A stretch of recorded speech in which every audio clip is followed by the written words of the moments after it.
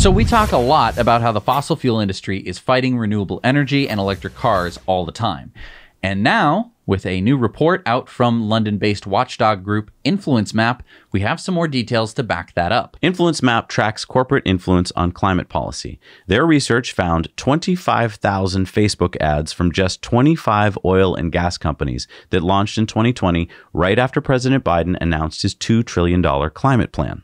These ads have been seen 431 million times and cost about $10 million. Now, many of the ads contained misleading content. Now, who are the worst offenders? Exxon and the American Petroleum Institute ads made up about 62% of all the ads posted on the Facebook. So, when we say that big oil and fossil fuel companies are fighting the EV revolution and the renewable energy revolution, you might be like, well, Zac and Jesse, whatever, you know, they're just doing their job. They're just uh, trying to keep their businesses alive. But no, they're actively lobbying and, in this case, paying money for ads to mislead people so that when you you know are having a discussion with your friends on facebook and they're like well i heard yeah you heard wrong and you heard wrong because they're spending millions of dollars for you to keep hearing the wrong facts Right. And this is really scary because people like you, probably who are watching this, um, probably aren't seeing those ads. right. And so you might be saying, oh, 431 million times. That's, you know, if everyone on uh, in America was on Facebook, then I guess, you know, you'd only see a couple of them. Uh, no, it's going to be a smaller portion of the American population, and they're going to be seeing them multiple multiple times. And if you see things multiple multiple times and uh, they're being targeted directly at you for uh, a reason because they know with analytics they, they can they know who to pinpoint they're like you wonder why there's such a disagreement all the time.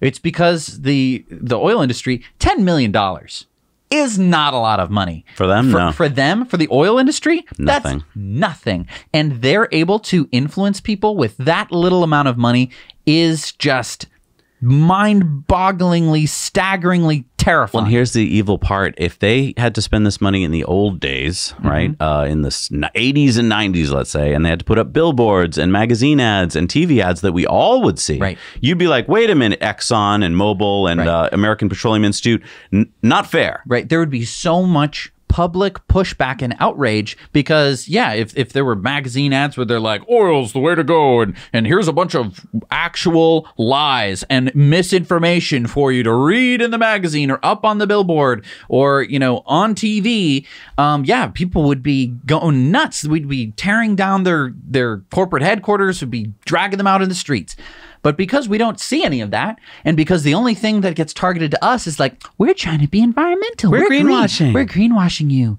Don't you feel better? Look at it's a scientist. They're thinking about it. We're Look at this vial with to- green stuff in Whoa, it. green stuff. Like that is how they do it. It's so f***ing evil. It's so evil, and we don't even get to see it.